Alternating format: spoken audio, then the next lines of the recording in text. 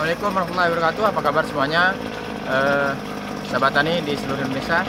Ketemu lagi dengan saya Ramadan Karim di channel YouTube Menurut Oke.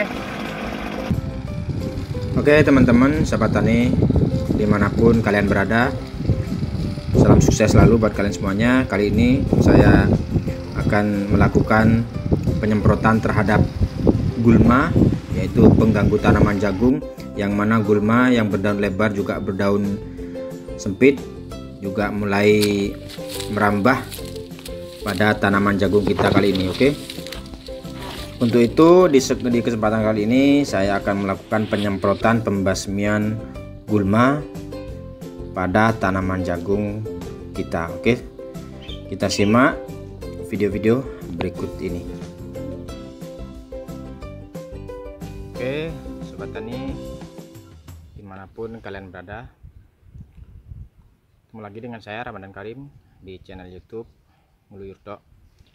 Kali ini saya akan melakukan perawatan terhadap tanaman jagung usia sekitar 37 hari setelah tanam yang mana gulma sudah mulai muncul dan juga mengganggu tanaman jagung kita untuk itu sobat tani hmm, saya akan melakukan penyemprotan terhadap gulma.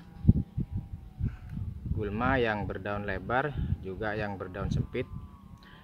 Untuk mengatasi itu saya menggunakan eh, paket pembasmi gulma yaitu Gisentro ya. Saya menggunakan Gisentro dengan bahan aktif atrazin 500 gram per liter dan mesotrion 60 gram per liter. Dengan paket pembasmi gulma dengan paket pembasmi gulma Gisentro eh, isi 500 ml ya isi bersih. Dengan sasaran pada tanaman jagung gulma sasaran yang mana gulma berdaun lebar konsentrasi 3 sampai 5 mili per liter dengan dosis 1,5 atau 2,5 liter per hektar. Sedangkan golongan rumput dengan konsentrasi, dengan konsentrasi 3 sampai 5 mili per liter juga 1,5 sampai 2,5 liter per hektar. Dengan cara aplikasi penyemprotan volume tinggi 500 liter per hektar ya. Untuk waktu aplikasi lakukan penyemprotan pada waktu gulma sedang tumbuh aktif. Nah, saat ini tanaman jagung kita sudah ditumbuhi gulma, sudah aktif. Hampir menyamai kira-kira tanaman jagung karena ini tanaman jagung jenis pembibitan, maka pertumbuhannya memang kecil ya.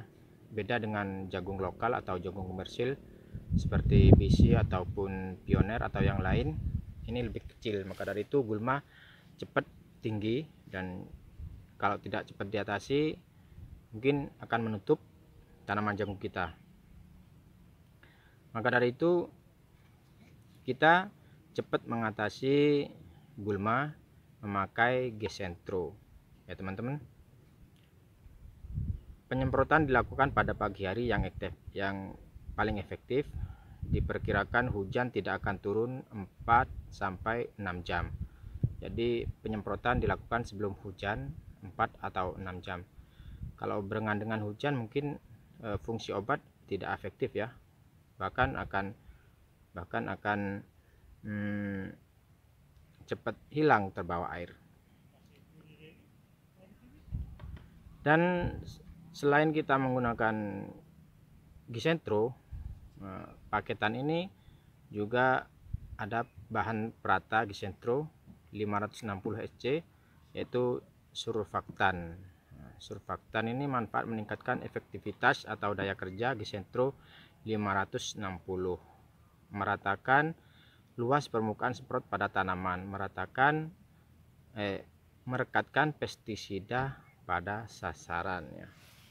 Itu kawan-kawan semuanya hmm, semoga video ini bermanfaat buat kalian semuanya. Yang mana buat kalian petani jagung seluruh Indonesia eh, kita berbagi pengalaman dengan apa adanya ya.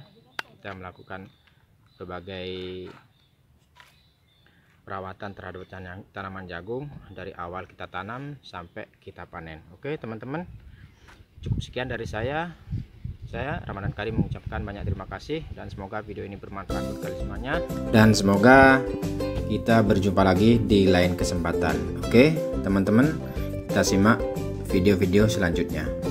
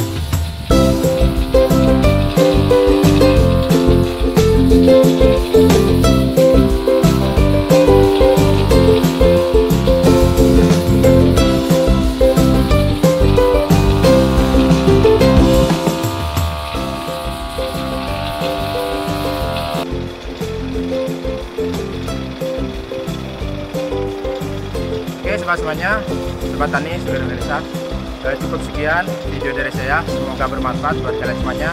Salam sukses selalu uh, buat uh, petani seluruh Indonesia. Saya Ramadan Karim di channel YouTube Mulyoto mengucapkan banyak terima kasih dan saya ucapkan Assalamualaikum warahmatullahi wabarakatuh